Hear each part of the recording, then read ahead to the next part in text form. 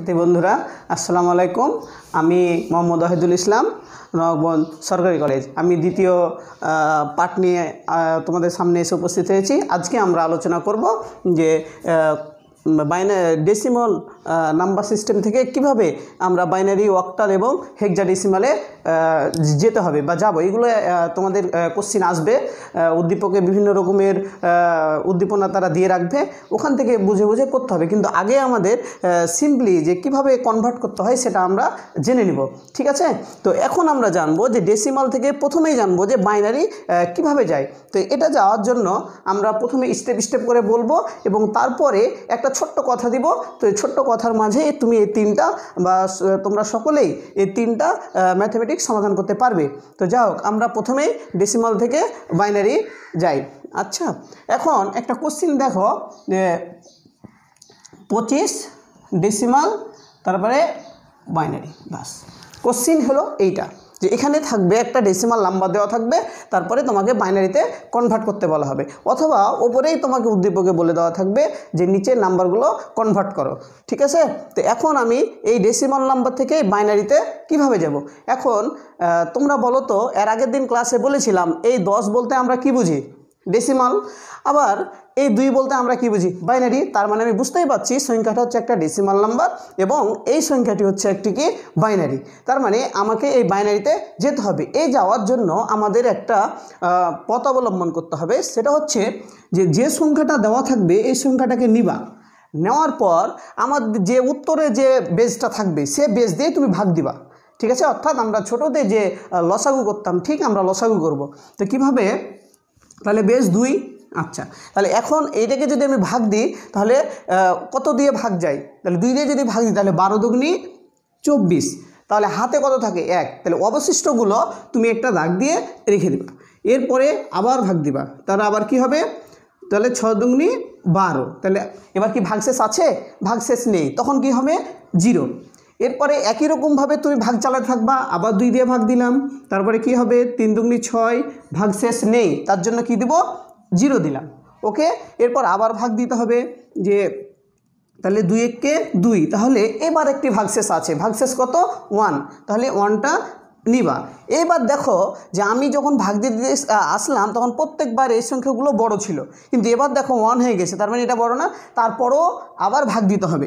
ভাগ দেওয়ার পর যখন দেখবা যে এই সংখ্যাটা ছোট হয়ে গেছে, যাকে তুমি ভাগ দিচ্ছ সেই সংখ্যাটা ছোট হয়েছে, তখন তুমি কি করবা? এখানে একটা জিরো নিবা এবং এই মাথার যে সংখ্যাটা আছে, এখানে তুমি এখানে পাঠিয়ে দিবা।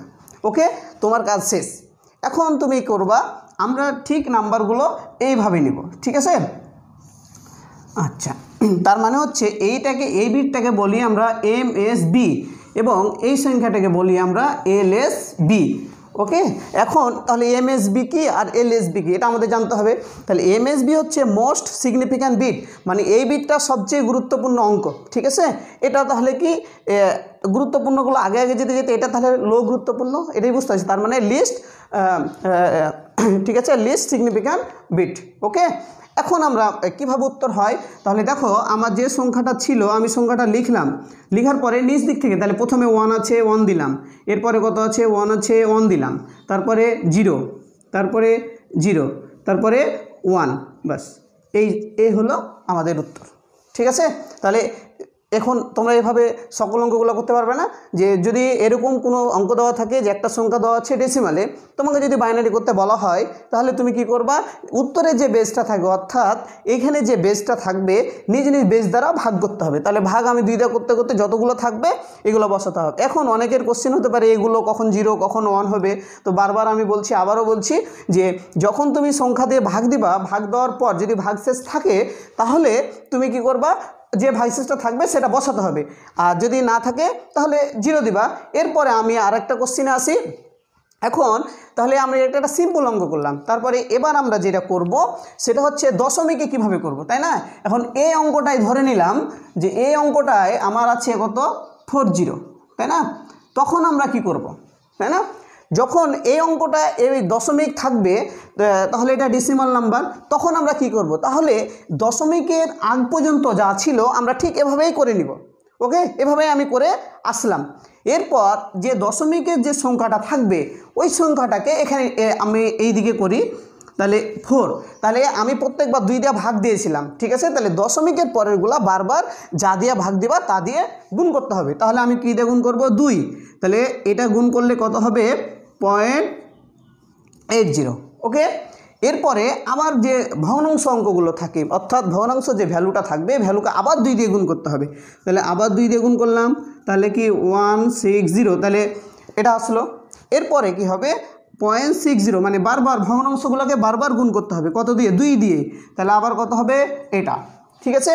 এরপরে দেখো, আবার বিশকে যদি আমি দুই দিয়ে গুণ করি, তাহলে পয়েন্ট চল্লিশ। ঠিক আছে? দেখো আমি আগের ভ্যালুটা আবার ঘুরে পেয়ে গেছি। এখন এখানেও থামলে হবে আরও দুই এক ঘর গেলেও হবে, ঠিক আছে? তো আমাদের কোনো দরকার নেই। তখন আমরা দেখো, যখন যখন আমাদের দশমিক ছিল না, তখন আমরা কি করেছিলাম যে নিচ দিয়ে নিয়ে গেছিলাম, তাই না? আর এখানে যখন আসবে, তখন আমরা ভ্যালুগুলো ঠিক এইভাবে নিব। কিন্তু আমরা কোন ভ্যালুগুলো নিব সেটা তো, আমরা নিব দশমিকের পূর্বের ভ্যালুগুলো, অর্থাৎ আমরা এই ভ্যালুটি কাউন্ট করব শুধুমাত্র। ঠিক আছে? মানে দশমিকের পূর্ব ভ্যালুগুলো আমরা সবসময় কাউন্ট করব। তাহলে কীভাবে করব? তাহলে এই পয়েন্ট চল্লিশের ভ্যালুটা কত হবে? কত হবে? তাহলে হবে zero one one zero okay তাহলে এটা। এখন আমি এই জায়গাতে এসে মানটা যদি আমি বসাই দিই, তাহলে point zero one one zero বাস এই আমার উত্তর শেষ। তাহলে বোঝা গেল যে এমনিগুলো কীভাবে করতে হয়, দশমিকগুলো কী করতে হয়? আমাদের কোশ্চেন হচ্ছে, যখন পূর্ণ সংখ্যা থাকবে, তখন তুমি ভাগ দিবাই। ওকে এরপর যখন দশমীর সংখ্যা থাকে, তখন তুমি তো তাকে ভাগ দিয়ে নিয়েছো। তাহলে পূর্বের সংখ্যাটা ঘুরে তার জন্য গুণ করতে হবে। যে বেজ আছে, সে বেজ দিয়ে তুমি গুণ করবা। ঠিক আছে? এখন অনেকের কোশ্চেন কোশ্চেনেতে এই ঘর কত দূর যাবে? তাই না? তো এর কোনো নির্দিষ্ট ওভাবে থামার কোনো নিয়ম নেই। তবে যখন দুই একটা পূর্ণ সংখ্যা পাবা, তখন থেমে গেলেই হয়, ঠিক আছে? তারপরও তোমরা কোথায় পাবা অথবা সবচেয়ে অ্যাপ্রোপ্রিয়েট ভ্যালু হচ্ছে যে যখন তুমি যে প্রথম সংখ্যাটা নিয়ে কাজ করবা, যতক্ষণ প্রথম সংখ্যাটা না আসে, ততক্ষণ তোমাকে ওই রানিং অবস্থায় চলতেই থাকে। তবে অতগুলো অনেক সময় দেখা যাচ্ছে এটা কয়েক ধাপে হলো অনেকগুলো অনেকগুলো ধাপ করতে হবে, তখন কিন্তু সম্পূর্ণ হবে না। তখন তুমি দুই একটা পূর্ণ সংখ্যায় গিয়ে থেমে যাবা, দিয়ে ডট দিবা, যে এরপরে আরও অনেক ভ্যালু আছে ওকে তাহলে আমি কি পড়লাম ডেসিমাল থেকে বাইনারি এখন আমরা যেটা পড়ব ডেসিমাল থেকে অক্টাল ঠিক আছে? এখন তোমরা দেখো যে আমরা এই সংখ্যাটাই পড়ব, ঠিক আছে? আমরা এই পঁচিশ সংখ্যাটাই পড়ব কীভাবে? যে ডেসিমাল ঠিক আছে? তার ডেসিমাল হচ্ছে কত করব? এবার অক্টাল ওকে? তাহলে আমরা কি করব? এবার ডেসিমাল থেকে আমি কোন ফরম্যাটে যাব? অক্টাল কারণ আমাদের এটা শেষ। ওকে তাহলে আমরা ওয়াক্টাল করব এবার। তাহলে ওয়াক্টালের বেজ কত? এইট আমরা পূর্বের ক্লাসে জেনেছি। তাহলে আমি এইট দিলাম। তার মানে আমি এটা দেখে বুঝতেই পারছি যে এটা একটা ডেসিমাল সংখ্যা এবং এটি একটি অক্টাল সংখ্যা। তার মানে কোনটি? যেটি উত্তর করব, তাই না? এখন তাহলে কি করব? এই পঁচিশ নিলাম। এ ভাগ দিতে হবে কত? বেজ দিয়ে। এইট ওকে তাহলে ভাগ যদি দিই, তাহলে কত হবে? তিন আটে চব্বিশ। তাহলে আমি পাইলাম তিন আর হাতে থাকল এক।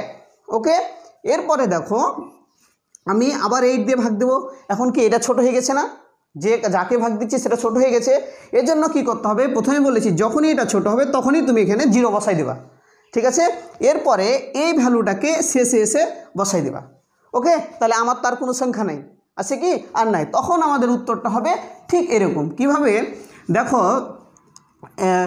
আমরা যদি নেই, তাহলে আমাদের পঁচিশ সংখ্যা থাকল, তাহলে উত্তরটা আমাদের কত হবে? তাহলে নিচ থেকে এইটা।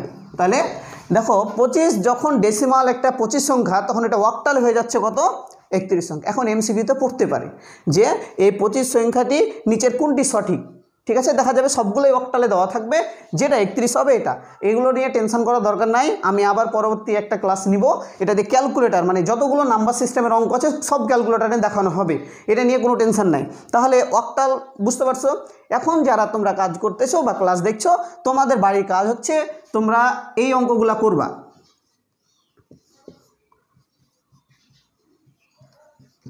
ঠিক আছে?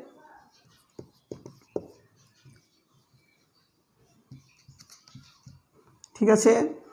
এরপর যেটা করবা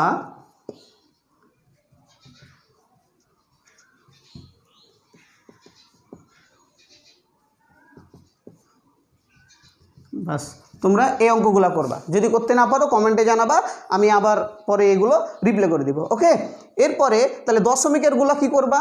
ওই যে আমি প্রথমেই দেখালাম দুই দুই দিয়ে গুণ করে, এবার তোমরা কত দিয়ে গুণ করবা? আট দিয়ে আট দিয়ে গুণ করবা, ঠিক আছে? একই রকমভাবে চলতে থাকবে। যদি বুঝতে না পারো, আমাকে আবার মানে কমেন্টে জানাবা, আমি অবশ্যই তোমাদের এটা সলভ করে দেবো। ওই যে আগে যেভাবে দুই দিয়ে গুণ করেছিলাম, এবার কত দিয়ে গুণ করবা?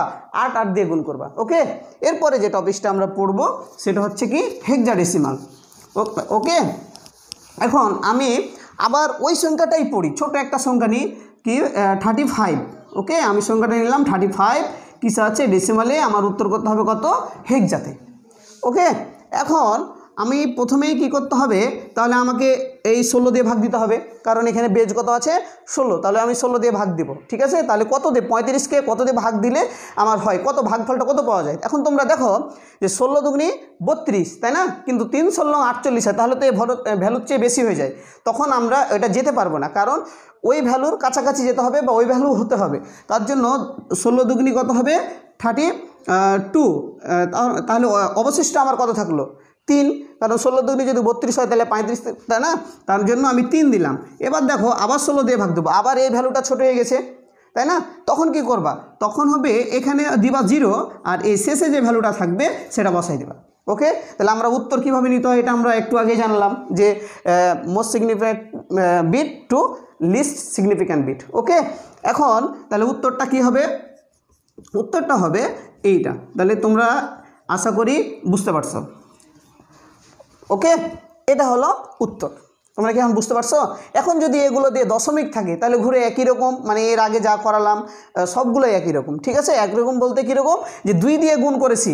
এখন এখানে যদি ওই আগের ভ্যালুটা পয়েন্ট চল্লিশ দেওয়া থাকতো, যে পঁচিশ পয়েন্ট চল্লিশ, তাহলে আমি চল্লিশকে কী দিয়ে গুণ করেছিলাম? দুই দিয়ে গুণ করছিলাম। এবার কত দিয়ে গুণ করতে হবে? ষোলো দিয়ে। তাহলে ষোলো দিয়ে গুণ করে যা পাবা, বছর থাকবা, ভাগশেষ যতগুলো থাকবে, ততগুলো দিয়ে গুণ করতে থাকবে। এভাবে তোমরা চলতে থাকবা। এই তিনটা ফরম্যাট আমাদের আজকে হলো যে কি ডেসিমাল থেকে বাইনারি কীভাবে করতে হয় ডেসিমাল থেকে অক্টাল কীভাবে করতে হয় ডেসিমাল থেকে হেক্সা ডেসিমাল কীভাবে করতে হয়, তোমরা শিখলা। এখন কোশ্চেন হচ্ছে যে এতগুলো কীভাবে মনে রাখব? কারণ আমাদের চারটা ফরম্যাট তিন চারে বারো রকম অঙ্ক আছে, তাই না? তো এতগুলো মনে রাখার দরকার নেই। মাত্র দুইটি কথা মনে রাখলে সব অঙ্ক হবে, কোনো টেনশন নাই। এখন ডেসিমাল থেকে তুমি যে ফরম্যাটই যাও, বললাম কি ডেসিমাল থেকে তুমি যে ফর্মাটি যাবা, কিচ্ছু করতে হবে না। যে বেজটা উত্তর চাপবে মানে ধরো বাইনারিতে উত্তর চেয়েছে, তাহলে বাইনারি বেজ কত? দুই কোশ্চিনে দেওয়া থাকবে। যেমন ধরো ডেসিমাল থেকে হেক্সা করতে বলেছি, তার মানে এটা উত্তর নিতে হবে না, তাহলে এই বেজ দিয়ে তুমি ভাগ দিবে। অর্থাৎ নিজ নিজ বেস দ্বারা তুমি ভাগ দিয়ে থাকবা। তার মানে একটা কথা মনে রাখবা যে ডেসিমাল থেকে আমি জাতি যাব, ভাগ দিব। কি দিয়ে ভাগ দিব? না তো নিজ নিজ বেস দ্বারা। বুঝে গেছে? তাহলে আশা করি তোমরা বুঝতে পেরেছ, আজকের ফরম্যাট হচ্ছে কি, আমরা শিখলাম ডেসিমাল থেকে তিনটা ফরম্যাট কীভাবে শিখতে হয়। আমরা পরবর্তী ক্লাসে জানব যে আবার কি ডেসিমাল থেকে যেহেতু হলো, তাহলে এবার আমরা জানব বাইনারি থেকে কীভাবে আর ওই তিনটা পথে জানতে হয়। তোমরা অপেক্ষা করো আমি ইনশাল্লাহ পরবর্তী ক্লাসে এই তিনটা টপিকস আলোচনা করব। আর যদি বুঝতে না পারো অবভিয়াসলি তোমরা আমাকে কমেন্টে জানাবা কোথায় সমস্যা আমি অবশ্যই ক্লিয়ার করে দেবো। ওকে তো ভালো থাকো সুস্থ থাকো পরবর্তী ক্লাসের জন্য অপেক্ষা করো। Thank you